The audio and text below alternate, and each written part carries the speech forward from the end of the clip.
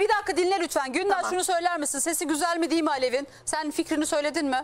Evet söyledi. Tamam bir dinleyeyim bir. Bir dakika. Şimdi Ha. şimdi şöyle e, evet bana da şarkılar söyledi. Abla sesim nasıl güzel mi dedi.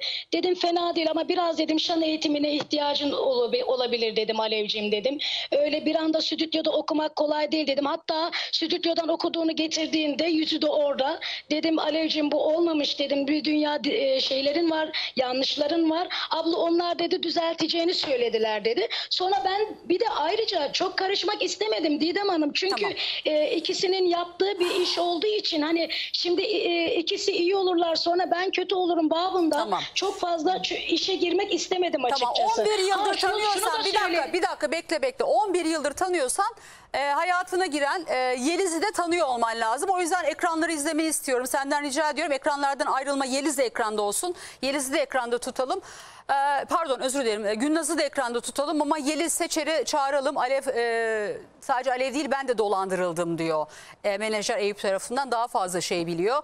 Anladığım kadarıyla eğer iddialar doğruysa aynı şekilde çalışıyor. Önce sevgili oluyor arkasından da paralarını alıyor. Benimle sevgili olmadı Ama e, şimdi aynı yöntem bak. Aynı Bakın. evdesin. Hayır şöyle. Bir dakika, şöyle. ama bir ben saniye. buraya geleli Didem Hanım 4-5 gün olmuştu.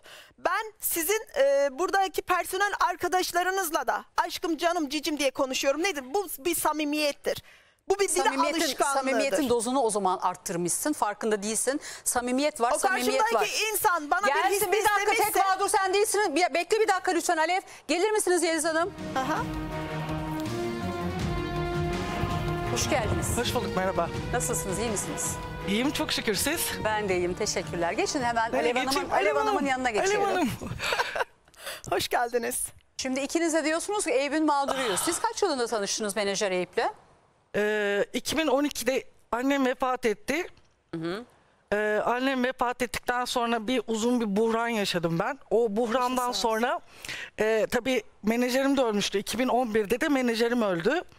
Ee, Siz Okan, nerelisiniz? İstanbullu musunuz? ben Elazığlıyım aslen ama Elazığ'ı görmedim ben. Ha, İstanbul'da hep tanıştınız Eyüp'le. Tabii o zaman ben İstanbul'daydım. Nasıl tanıştınız?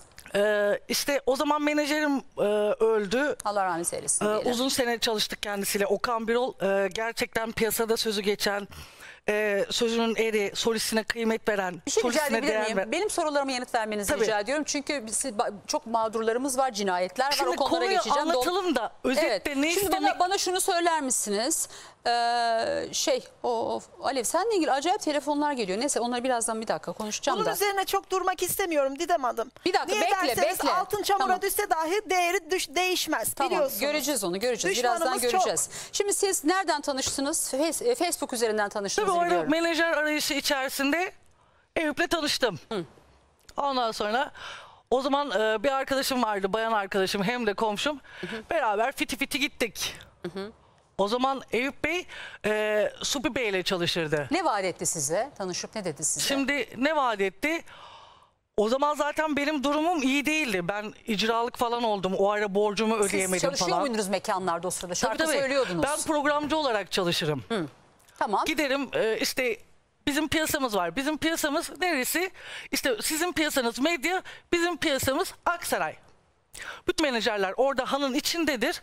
Kostümcüsü, ayakkabısı her şey içindedir. Herkes birbirini tanır. Tamam. Peki e, size ne vaat etti Eyüp Bey? Nasıl kandırdı? Nasıl dolandırdı? Bana ne vaat etti? O zaman menajere ihtiyacım vardı.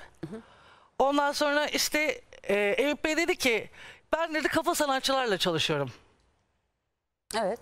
Ondan sonra dedi senin dedi albüm albümün yok dedi. Sen dedi benim için dedi sarı çizmeli Mehmet Ağasın dedi. Hani ben isimli sanatçıyla çalışıyorum. Ha sana albüm yaparız. Yaparız.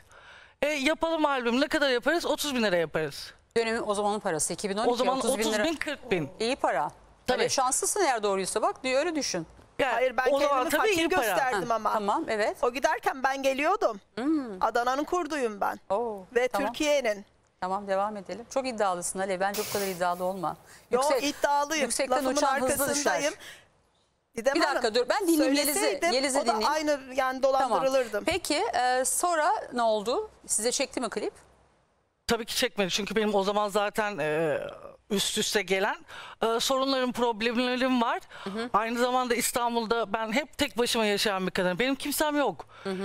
Benim bir annem vardı, iki tane erkek kardeşim vardı. Şimdi de şu an e, beraber yaşadığım bir dayım var. Sizin paranızı aldı mı peki? Diyorsunuz ki beni e, 9300 lira dolandırdı. Paranızı Şimdi almış. onu sabahleyin yanlış hesapladık. Şimdi 1700 lira Eyüp Bey'e borcum kalmıştı benim. Biz tamamı 10 bin liraya anlaştık. Ee, bu 10 bin liraya anlaşmamızın içerisinde aslında biz bunu 2018'de yapacaktık. yapacaktık. Biraz şey boğazım kurudu 10 bin kusura liranın bakmayın. içinde ne vardı? Öyle kısaca özetler misiniz evet ya onu? hızlı hızlı. Şimdi e, Şarkı, şarkı çekecek Şimdi stüdyoda. 2018'deki şimdi asıl e, yani beni kandırıldığım kısmı şuradan Ne, başlıyor. işte onu söyleyin bana. Nerede kandırdınız? 2018'de Eyüp Bey, e, ben eski samimiyetime dayanarak o zaman e, Eyüp cezaevine girmeden önce biz Eyüp Aa, birlikte, siz de birlikte yaşadınız. tabii ne kadar birlikte yaşadık. yaşadınız? 6 ay süre. E, tabii ben o ara e, Önce zor... sevgili oldu. O zaman, o zaman Ya sevgili sonra mi? evin içinde gelişen şeyler ol- olan oluşan yani ateşli barut misali o an bazı şeyler Peki niye yaşanmış onun evinde olabilir. kaldınız? Niye orada kaldınız? Gidecek yerim yok. Ha, Alev gibi. Alev benziyor bak hikaye. Biraz Ya- daha kalsan belki sevgili olacaksın. Şimdi sevgili olmadığını söylüyorsun da. Peki 6 ay beraber yaşadınız. Kalamazdım. Benim çocuklarım Adana'da. Benim bir sorumluluğum var. Ben bir anneyim. Tamam. Devam Okul edin. açıldı. Bakın şu an benim kızım ilgileniyor. Evli kızım ilgileniyor oğlumla. 13 yaşındaki oğlumla. Ve bir programdan hayırlısıyla alnımın akıyla çıktıktan sonra Adana'ya gideceğim. İşlerimi halledip düzene sokup ondan sonra önüme bakacağım. Tekrar İstanbul'a geleceksin. Bence sen o sen vazgeçmezsin. Evimi Kesinlikle. yaptıracağım hayırlısıyla. Peki. De mi yaptırırsın? Başka türlü mü? Nasıl yaptırırsın? Ya, Bilemem de o ev bence başka yapılır. türlü olsaydı Aa, Didem kesin, Hanım. Kesin yapılır başka ev. türlü olsaydı burada Yelizciğim, olmazdım. Yelizciğim. Buyurun. Peki o evde 6 ay boyunca yaşayınca ne oldu sonra? Sevgili olmuşsunuz. Sonra tabii e, duygusal şeyler gelişti arada. Duygusal şeyler gelişirken e, şimdi Eyüp o zaman zor durumdaydı. Yusuf Harputlu ile beraber çalışmış. Tabii benim geldiğim dönem işte Yusuf Harputlu'yla epey sorunlar yaşamışlar. Gene aralarında büyük paralar, pullar, meseleler. Tabii ben bunu Eyüp'ün anlatımıyla söylüyorum. Tamam. İşte Eyüp de o zaman e, hakikaten zor durumda. Evet. İşte e, Yusuf Harputlu'ya güya e, işte evini hipotek ettiğini, o evinin hipotek etti sonra Yusuf Harputlu'nun onu yarı yolda bıraktığını, Yusuf Harputlu'yu aslında Yusuf Harput- Harputlu yapanın kendisi olduğunu ifade ediyordu. Yani İşte siz, siz kısacası e, sizin hayallerinizle oynamış, umut tacirliği yaptığını iddia ediyorsunuz. Peki cezaevine niye girdi Eyüp Bey?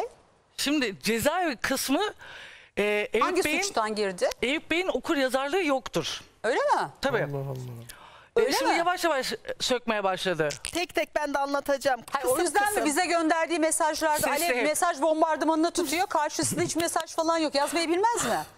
Okuma yazması yok hayır. Hiç. Yani hiç şimdi Eyüp'ün e, duvarda asılı anne babası vardır.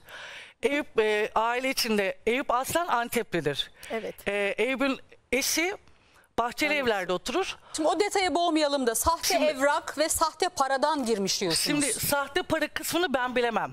Ama öyle demişsiniz ekibe. Şimdi duyumsal olarak şimdi bir olay yaşarsınız. Şimdi bu hanımefendi olay yaşadı buraya geldi.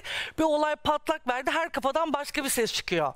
Dolayısıyla Şimdi- ama e, ama yani cezaevine girdiği kesin herhalde ama hangi suçtan girdiğini bilmiyor. Sahte evra, e, evrakta sahteciliği ben Şimdi biliyorum. kendisi iddiaya göre. evrakta sahtecilikten girdiğini beyan ediyor. Aha. Kendisi evraktan Ama sahtecilikten e, sahte para çok ağır bir iddia. İnanılmaz Şimdi bir tabii iddia. ki sahte para ağır bir iddia. Ama e, şimdi ben şey dedim yayına ilk bağladım bağlandığımda Evet. e, onu avukat bey söylemiş. Onu avukat bey söylemeden Avukat önce değilim Or- ben. Orhan Bey polisimiz, emekli polisimiz. Evet. Avukatımız Selma Hanım. Her defa Hanım. düzeltmek sorun. Avukatlığı hep erkeklere Ama yakıştırıyorlar ben Selma galiba. Hanım'ın da şarkıcı olabileceğini düşünüyorum da izin verirse birazdan ses var. Ses var yani. Biraz Yani, tabii ki. Vallahi Selma kusura bakma yayınlayacağım ya. Hayır. Ha, evet. Söyle devam şimdi et orada Yelizciğim. sahte para gibi ses geldi. Ben orada hemen müdahale ettim. Sahte para değil dedim. Şimdi böyle bir şey Al iddia sana ses. Bir dakika vereceğim bu sesi ekrana vermezsem çatlayacağım Yapmayın ya. lütfen. Kusura bakma ne güzel ses.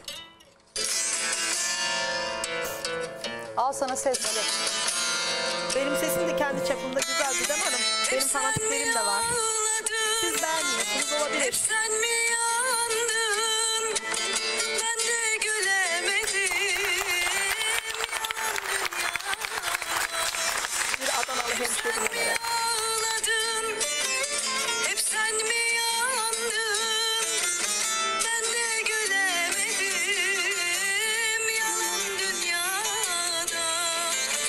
Ses bu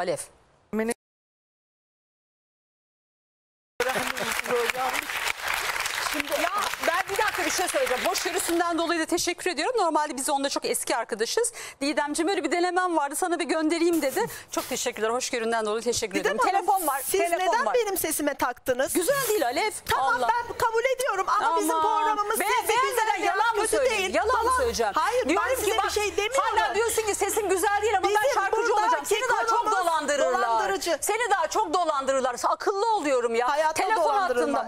Evet, dolandırılmışsın öyle diyorsun ya da yalan söylüyorsun. Bundan